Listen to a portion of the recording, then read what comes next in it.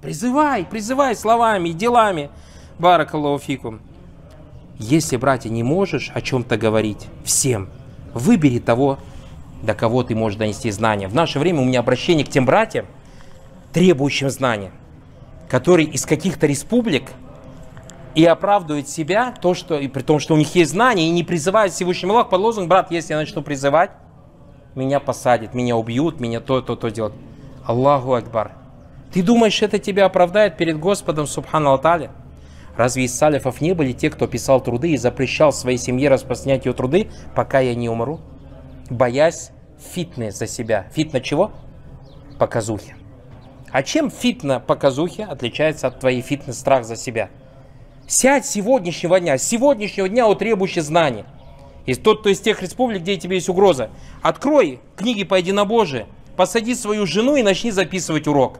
Открой Бухари, Муслим, начни рассказывать сунну пророк Салсам. Записывай, записывай, записывай, записывай, записывай.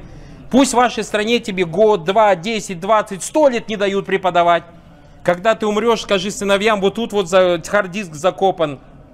Когда, если будете умирать, скажите своим внукам закопьте. И потом Аллах Субтитры приведет, как во времена Ахмеда. Три халифа мучили Ахмеда, четвертый пришел и поддержку дал Махмеду. Вот так же придет президент и в твоей стране. И когда придет президент в своей стране, который поддержит Ахли Сунна, придет твой праправнук с твоим хардиском. Вот тут вот весь тафсир Курана, весь шарх на Бухари, весь шарх на Муслима, шарх на все книги Мухаммад ибн Абдуллахаба. Нате, возьмите, распространяйте. А так ты как оправдаешься перед Всевышним Аллахом Субхану Аталь? Валлахи, одно оправдание, если тебя привязали, приковали, рот тебе скотчем закрыли, и даже тебе ничего не дал. И вот так ты всю жизнь свою провел. Да. Или манукра его кальбу мутмейна А так какое вам оправдание у братьев, кто учился в Медине, в Мекке, в других странах и не призывает по лозунгам «я боюсь»? Боишься? Вот так сделай, дома запиши, переведи, накопи. Поэтому, если не можешь говорить, выбери того, до кого можно донести знания. Или же запиши там дома один, с женой, с детьми. Баракаллаху Валлахи, братья, в уроке с детьми это самые баракатные уроки. Потому что, брат, когда ты доносишь знания до детей, в тебе нету столько искренности, сколько это в донесении других. Нету столько желания добра тому, кого ты преподаешь, баракалуфикум, сколько это что? Сколько это ты делаешь для детей. Брат, ты когда в самолете, и, например, скажем, упали маски, рядом с тобой ребенок твой сидит, и вот тут чужой ребенок, правильно? У нас по правилам самолета одень маску на себя, потом на ребенка. Ты какому ребенку начнешь одевать? Своему или чужому? Валлах, своему начнешь одевать, правильно? Есть пятеро детей, из них двое твои, трое не твоих. И они подвергнуты какой-то опасности. Ты чьих детей первых начнешь? Упали, тонуть начали. Ты чьих детей первых начнешь вытаскивать? Валлахи своих. И почему мы, субхану, тонет ребенок достаем?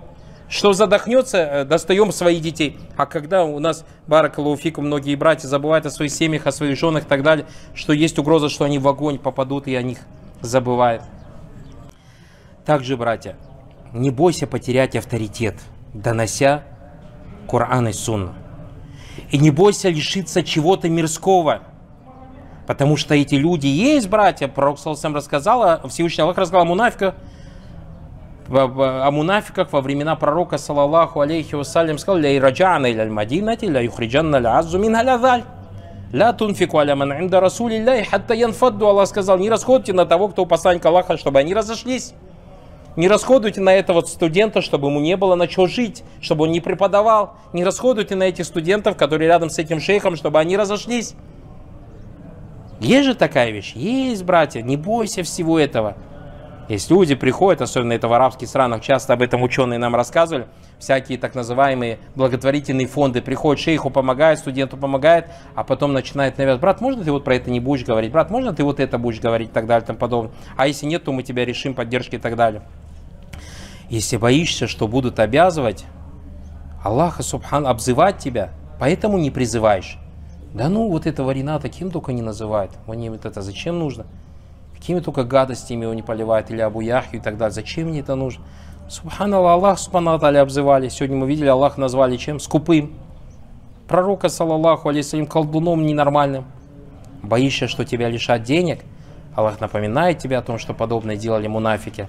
Сказали, ля тунфику аля ман инда расулля хатта янфадду, не расходуйте на тех, кто посланник Аллаха, чтобы они разошлись. И подобное ты можешь встретить сегодня, но Аллах тебе также напоминает в эти же аята, говорит, «Валилляхи хазайну самавати валярд». Аллаху принадлежат сокровищницы небес и земли. Валякин наль мунафикун аляевкагун. Однако мунафики этого не понимают. То есть тот, кто лишает требующего знания, поддержки, чтобы он перестал распространять Куран и Сунну, это человек мунафик. Боишься, что убьют? Боишься, да, что убьют? Так спал, это же есть шагада фисабилля.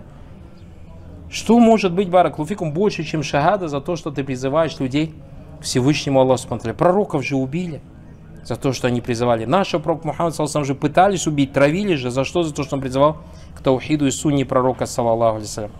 Также в этом аяте опровержение рафидитам, которые говорят, что Мухаммад, саллаллаху алейсалям, скрыл треть Курана. Говорят, что треть Курана скрыта, вали язубилля.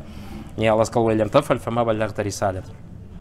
يا أيها الرسول بلغ ما أنزل إليك من ربك وإن لم تفعل فما بلغت رسالته والله يعصمك من الناس إن الله لا يهدي القوم الكافرين